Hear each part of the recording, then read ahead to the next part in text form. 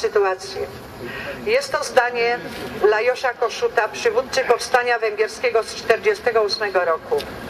Nie zwyciężyliśmy, lecz walczyliśmy. Nie złamaliśmy tyranii, lecz powstrzymaliśmy jej pochód. Nie obroniliśmy naszego kraju, lecz broniliśmy go. Jeżeli kiedyś zostanie napisana nasza historia, będziemy mogli powiedzieć, że stawialiśmy opór. Działo się to w Krakowie roku pańskiego 2001 w miesiącu wrześniu, gdy w Rzymie na tronie Piotrowym od przeszło 23 lat zasiada syn narodu polskiego Karol Wojtyła, Jan Paweł II, papież Polak. Jest to fragment aktu erekcyjnego, który Państwo zainteresowani otrzymają od kolegi. Stoimy w miejscu, gdzie jeszcze przed 29 laty stał monument ku czci Armii Czerwonej, która wprawdzie przyniosła miastu wyzwolenie od niemieckiego nazizmu, ale też natychmiast zainstalowała równie wrogi narodowi polskiemu system polityczny komunizm. Za chwilę. Ten pomnik, który miał stanąć przed 17 laty, ma przypominać tamten czas. Czas zniewolenia narodu i tych, którzy mieli odwagę przeciwstawiać się złu. Niestety, ten akt sprawiedliwości historycznej przez 17 lat nie doczekał się realizacji. A rok 1956, czy ktoś chce, czy nie, jest datą graniczną w walce z komunistycznym systemem totalitarnym. Był to czas, gdy wielu ludzi walczyło z bronią w ręku. Okres największych represji komunistycznych, mordów sądowych i pozasądowych. Czas, w którym w śledztwie stosowano najcięższe tortury, a w więzieniach rygory, o których nie śniło się nawet w dalszych latach. Doczekaliśmy wreszcie czasów, jakich naród polski nie przeżywał chyba nigdy. Możemy manifestować i maszerować ze sztandarami z okazji różnych rocznic i świąt, które oddają hołd pamięci tym, którzy są dla nas wzorcami umiłowania ojczyzny. Tym, którzy za Polskę walczyli, cierpieli i ginęli w latach II wojny światowej w okrutnych czasach niemieckiego nazizmu, a później stalinowskiego terroru. Pomnik, który miał stanąć, a nie stoi, powinien ruszyć sumieniem społeczeństwa i wydobyć z niego nowe siły, gotowe w razie potrzeby i śladami tych katowanych w okrutny sposób w budynku Wojewódzkiego Urzędu y, Bezpieczeństwa Publicznego na Placu Inwalidów, krakowską filię moskiewskiej Łubianki, nie zapominając o tych, którzy ginęli w budynku gestapo na ulicy Pomorskiej. Przygotowanej koncepcji przebudowy Placu Inwalidów powinien stanąć pomnik tym, co stawiali opór komunizmowi w latach 1944-1956. Zgodnie z wolą inicjatorów i pomysłodawców, ale przede wszystkim zobowiązaniem pana prezydenta, profesora Jacka Majchrowskiego, które podjął i radnych miasta Krakowa. Testament, jaki pozostawili członkowie ówczesnego komitetu, tak jak powiedziałam, żyje jeszcze trzech. Mówiłam o panu majorze Stanisławie Szuro, o panu Adamie Macedońskim i nieobecny ze względu na stan zdrowia pan y, kapitan Andrzej Koszczewski. Nie mamy nic przeciwko uczczeniu w Krakowie ludzi mężnie stawiających opór niemieckiemu nazizmowi i komunizmowi na przestrzeni półwiecza 1939-1989. Pomnik Orła Białego, skoro już go ktoś zaprojektował i otrzymał za ten twórczy wysiłek adekwatne wynagrodzenie, może stanąć w innym, eksponowanym miejscu Krakowa. Apelujemy do prezydenta Królewskiego Stołecznego Miasta Krakowa, pana profesora Jacka Majchrowskiego, do wszystkich aktualnie sprawujących swój mandat radnego z woli wyborców o uszanowanie woli członków komitetu. Pragnę tylko przypomnieć, że projekt pomnika został zaakceptowany przez Komisję, Kultury Rady Miasta Krakowa na posiedzeniu w dniu 27 października 1999 roku. Naszym moralnym obowiązkiem jest wykonanie testamentu tych, co stawiali opór komunizmowi. Dziękuję. Oskarżeni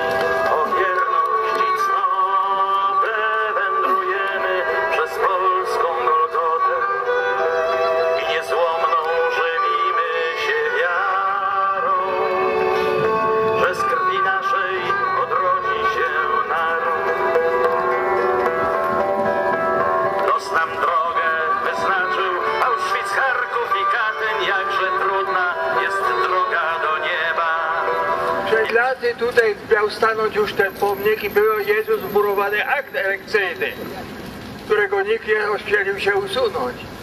Niestety, dwa totalizmy zasłużyły na naszej historii. Faszyzm w wydaniu hitlerowskim i komunizm w wydaniu stalinowskim. Faszyzm został potępiony. Nigdzie go już nie ma, w wielu wypadkach jest karana jego propaganda. Komunizmu nikt oficjalnie nie potępił. Wciąż jeszcze rządzi w dwóch państwach, w Korei Północnej na Kubie. Doprowadził tam ludność do skrajnej nędzy, a aparat terroru rozbudował aż do granic absurdu. U nas niedaleko, szukając przez dwie kadencje, był prezydentem człowiek, który za komunistycznych czasów był ministrem, więc musiał być zaufanym członkiem tamtego reżimu. No, coś tu nie gra, proszę Państwa. Czas by z tym skończyć. I wykończenie tego pomnika byłoby symbolem, że wreszcie sprawiedliwości stało się zadość. Niestety, nie żyje już poseł Wasserman, który patronował takim akcjom i robił to bardzo skutecznie. No ale zginął w Katyniu w tej katastrofie lotniczej. Katyń dwa razy się zapisał tragicznie w historii Polski. Starajmy się więc, żeby ten pomnik wreszcie wykończyć, żeby stał się symbolem nie zemsty, a sprawiedliwości. Dziękuję. witam. Szczególnie witam e, moje pokolenie ludzi, którzy pamiętają e, okrutne czasy pierwszych lat PRL. Pamiętają nastrój grozy, który panował w tej okolicy.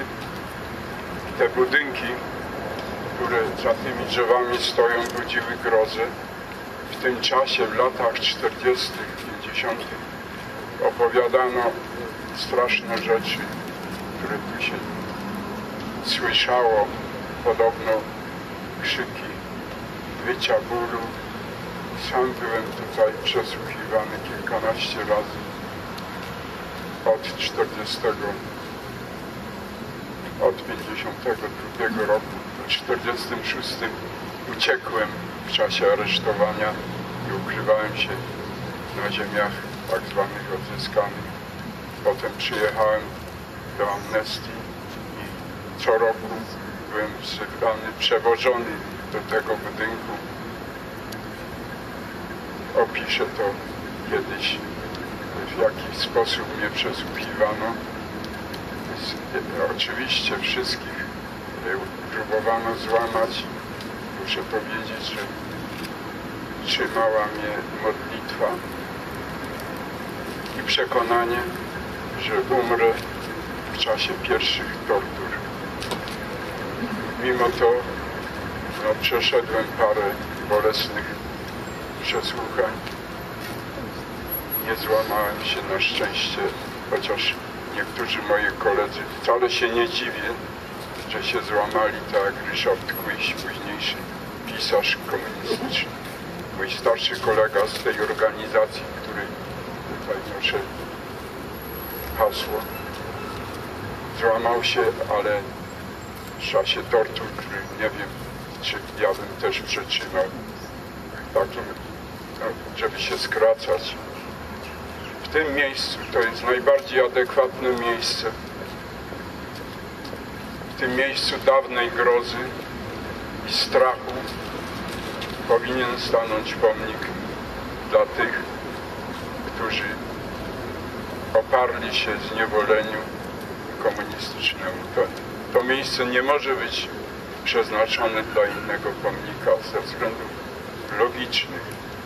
To jest miejsce grozy. Tu stał słynny pomnik wdzięczności, który też korzystając z okazji przypomnę w 60 w 1965 roku ja i Bogdan Walknowski, syn oficera polskiego wojska, oblaliśmy czerwoną farbą nad ranem.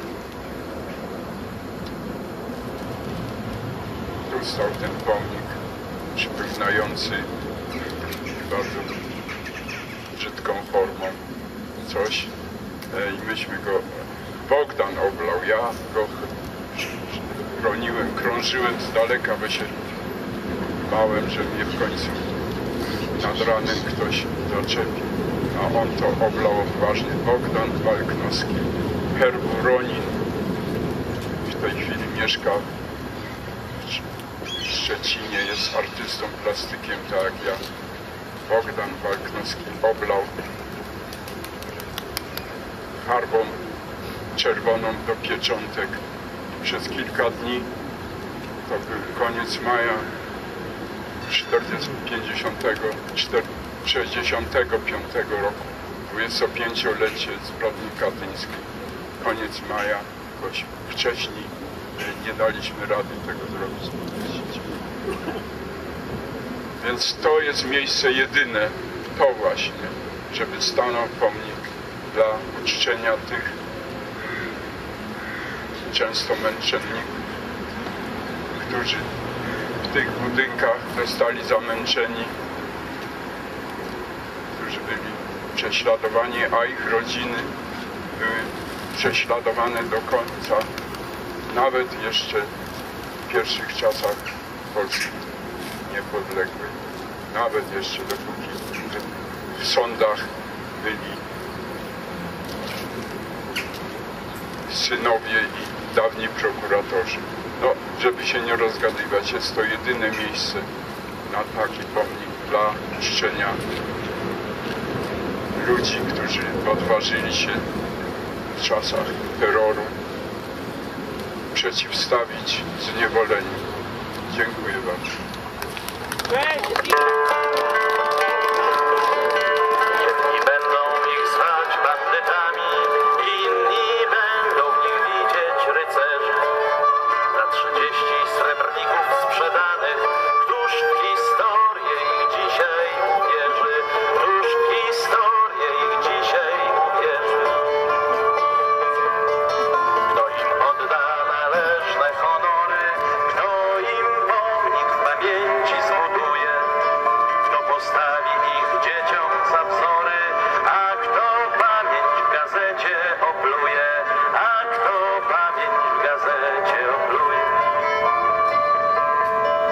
chcę przypomnieć, że w tym roku y, są założenia bardzo ambitne w mieście Krakowie budowy wielu pomników i sześciu popiersi, które tutaj kolega Kaziu Cholewa stawia w Parku Jordana dla ojców założycieli Polski niepodległej, ale mają stanąć trzy przynajmniej duże pomniki, bo dwa to są mniejsze, Stanisława Pyjasa przed Żaczkiem i prezydenta Juliusza Leo przy kładce Bernatka od strony Podgórza. I w zasadzie z tych trzech, które pozostały do postawienia, największe problemy mamy tu na Placu Inwalidów, bo pomnik pułkownika, a w zasadzie już generała Ryszarda Kuklińskiego stanie na pewno, o pieniądze są przeznaczone w dużej kwocie przez e, władze miasta i bardzo duże efekty przyniosła zbiórka publiczna, ponad 230 tysięcy złotych, w dzisiejszych czasach bardzo dużo. Pomnik Armii Krajowej trwają teraz spory czy ma stanąć tam, gdzie ma stanąć, czyli na bulwarze czerwieńskim. i tutaj apeluję do wszystkich, żeby do 31 stycznia jeszcze zgłosili swoje opinie, czy to listownie, czy przez internet do Zarządu Infrastruktury Komunalnej i Transportu Urzędu Rady Miasta Krakowa, który właśnie zajmuje się zbieraniem opinii i chodzi o to, aby tych opinii było jak najwięcej, że pomnik ma stanąć tam na bulwarze czerwieńskim. Co prawda, wiceprezydent Andrzej Kulik zapewniał mnie, że skoro raz taka decyzja zapadła, to teraz już jakieś tam sondaże opinii publicznej nie mają takiej e, dużej mocy, bo trzeba było głosować wtedy, kiedy była pierwsza dyskusja na ten temat e, 8 lat temu. No ale też mamy problem, ale największy problem mamy tu, gdzie stoimy, chociaż wydawałoby się, że jak pani Gosia powiedziała, problemu być nie powinno, bo po pierwsze była to uchwała Rady Miasta Krakowa, pacta sunt servanda, koniec. My nie mamy nic przeciwko temu, co też pani Małgorzata mówiła, żeby ktoś sobie postawił jakikolwiek pomnik, na przykład pomnik Orła Białego upamiętniający wszystkich, którzy walczyli latach 39-89, albo nawet można to, nie wiem, od, od Konfederacji Barskiej pociągnąć. To jest inny pomnik. To jest tak, jakby ktoś powiedział, chce postawić pomnik Juliusza Słowackiego, a Rada Miasta by powiedziała świetnie, a potem by zmieniła decyzję powiedziała, e, po co tylko Słowackiego, lepiej trzech wieszczów, a może wszystkich polskich poetów. Nie, my chcemy postawić konkretny pomnik tym, którzy walczyli z komunizmem, którzy stawiali opór komunizmowi w latach 44-56. I taka była inicjatywa obecnych tu członków komitetu, taka była propozycja związków wymienionych przez panią Małgosię, czyli Jawożniaków i Związku Więźniów Politycznego Okresu Stalinowskiego i Polskiego Związku Więźniów Komunizmu. I taką koncepcję cały czas popiera nasze porozumienie organizacji kombatanckich niepodległościowych w Krakowie. Yy, na szczęście ostatnio dość dużo media o tym też się rozpisują, no bo problem jest duży, dlatego że wedle oficjalnego stanowiska obecnych władz Krakowa ta rewitalizacja, czy też zagospodarowanie na nowo Placu Inwalidów ma mieć jako centralny punkt pomnik Orła Białego. I my teraz musimy doprowadzić do tego, poprzez Radę Miasta, żeby Rada Miasta powróciła do tej uchwały, na mocy której ma stanąć ten pomnik, przy którego kamieniu węgielnym stoimy. Ponieważ w roku 2007 radni Platformy Obywatelskiej przeforsowali koncepcję żeby zrobić nam lepiej niż my byśmy chcieli, to znaczy, żeby zrobić pomnik 3989. Nasze opory na nic się niestety wtedy nie zdały. Teraz sytuacja się zmieniła w Radzie Miasta Krakowa o tyle, że Platforma przeciętnie co tydzień traci jednego radnego, który gdzieś tam ucieka gdzie indziej. W związku z tym lada moment Prawo i Sprawiedliwość będzie mieć większość i mam nadzieję, że wtedy będzie to łatwiej uzyskać. A powtarzam na koniec, my nie chcemy żadnej tutaj nowej uchwały o tym, że coś chcemy robić, bo myśmy już wszystko zrobili, a uchwała jest podjęta wiele, wiele lat temu jest tylko i wyłącznie problem taki, żeby Rada Miasta dokonała tak zwanej reasumpcji tej uchwały z 2007 roku i powróciła do uchwały z roku 2000 pierwszego, czy nawet ciut wcześniejszego, bo nie pamiętam dokładnie, kiedy ta uchwała była przyjęta. I na sam koniec bardzo racjonalny tutaj pogląd y, pani Małgorzaty Janiec, że my nie jesteśmy zamknięci na kompromis, ale ten kompromis nie ma polegać na tym, że na pomniku Orła Białego będą tablice poświęcone tym, co stawiali opór, tylko odwrotnie. Na tym pomniku, który tutaj ma stanąć, mogą być tablice, które pokazują również innych walczących w innych okresach. Takie tablice mogą być. To jest tak jak na grobie nieznanego żołnierza, czy na różnych innych e, pomnikach są tablice rozszerzające nieco ideę tego pomnika. I taka koncepcja, żeby to był pomnik taki, jaki być ma, ale rozszerzający ową właśnie y, czasowo, historyczną, y, martyrologiczną naszą, y, nasze dzieje, myślę, że mógłby być od razu też przedstawiony Radzie Miasta Krakowa, która z mojej ostatniej dyskusji telewizyjnej z członkiem Komisji Kultury Rady Miasta wynika, że nie jest to rzecz, że tak powiem, zafiksowana przez nich. Zwłaszcza tych z Platformy Obywatelskiej, bo oni razu się własnego cienia boją i w związku z tym nie, nie będą chcieli występować przeciwko opinii yy, publicznej. Ale ja chcę jeszcze na koniec powiedzieć, już całkiem na koniec, że ta sprawa, my tu mówimy Prawo i Sprawiedliwość, Platforma Obywatelska, ale to jest przecież sprawa nasza, polska i nasza krakowska i tutaj, jeżeli ktokolwiek ma inne zdanie na ten temat, że w tym miejscu, obok tych budynków, o które tak pięknie tutaj opisał pan Adam Macedoński pan e, major Szuro wcześniej mówił, no to przecież tutaj nadaje się tylko postawić pomnik właśnie tym, których tutaj torturowano, mordowano, prześladowano w tym najgorszym okresie 44-56. Nikt nie odbiera tytułów do chwały Komitetowi Obrony Robotników, Konfederacji Polski Niepodległej, Solidarności i wielu, wielu innym strukturom walczącym o niepodległość Polski wcześniej i później, zwłaszcza później, te co wymieniłem, ale ten plac inwalidów nazwany dla ironii Placem Wolności przez komunistów kojarzy się wyłącznie albo z gestapo, i proszę bardzo, gdyby tutaj stanął jeszcze jakiś pomnik czy monument poświęcony ofiarom gestapo, to też jest właściwe miejsce i kojarzy się z więźniami z lat 44-56. Natomiast pomnik Orła Białego jest wiele miejsc w Krakowie, gdzie taki pomnik mógłby stanąć. Tutaj Kaziu właśnie podpowiada, że na przykład zupełnie niewykorzystany pomnikowo jest plac yy, rynek, rynek podgórski. Tam jest idealne miejsce na pomnik, bo jakoś Podgórze w ogóle jest pomniki jest słabo wyposażone. No pomnik Lea stanie, ale to jest niewielki pomniczek. W związku z tym, jeżeli Kraków chce w roku jubileuszu stulecia niepodległości wyrażać wolę mieszkańców, mówię o władzach Krakowa, to nie wyobrażamy sobie innej sytuacji, niż żeby tutaj stanął ten pomnik.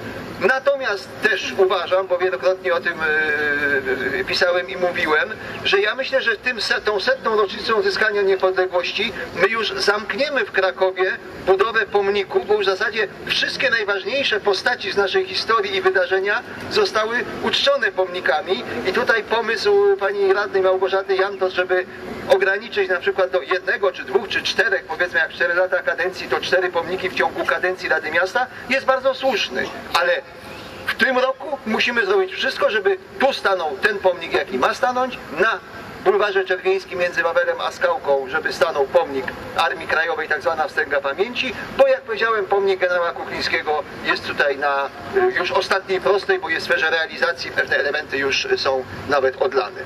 Dziękuję bardzo i deklaruję raz jeszcze, że w imieniu tych naszych 20 organizacji, yy, pan Pazurkiewicz dzwonił też, że nie może przyjść. Parę osób, po prostu wiadomo, z różnych względów, zwłaszcza zamieszkałych poza Krakowem przyjść nie mogło, ale my deklarujemy tutaj pełne poparcie dla Komitetu Budowy Pomnika w obecności, wo- wo- wobec tych yy, yy, osób, które są tutaj dziś z nami obecne i tych, których nie ma. I również pełne poparcie w rozmowach z władzami Krakowa, przez które rozumiem w pierwszej kolejności Komisję Kultury, w drugiej przewodniczącego Rady, bo prezydent Majchrowski tutaj nie ma wiele do ustalenia, bo on zrealizuje to, co mu Rada przedłoży, a naszym zadaniem jest, żeby Rada przedłożyła to, co Rada przedłożyć powinna, czyli tym, co stawiali, czy którzy stawiali, bo to będzie teraz dyskusja filologiczna, czy lepiej jest co, czy którzy, ale to już są szczegóły zupełne, które nie wpływają na wygląd pomnika dzieła pana Edwarda Krzaka, tylko to jest właśnie to, jaki będzie napis i jakie będą ewentualnie tablice. I niniejszym tutaj rozumiem, że w imieniu Komitetu Budowy Pomnika deklarujemy gotowość do kompromisu, który polega na tym, że staje pomnik w takim kształcie, o takiej nazwie, ale wzbogacony tablicami Na z lat postumencie jest dużo miejsca. na postumencie będzie dużo miejsca i możemy wtedy kompromisowo lata, wszystkie lata do tyłu, do przodu, jak to będzie chciał uwzględnić.